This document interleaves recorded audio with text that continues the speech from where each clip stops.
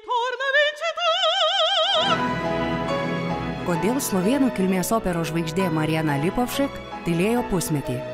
Ar iš vis įmanoma draugystė tarp dainininkų?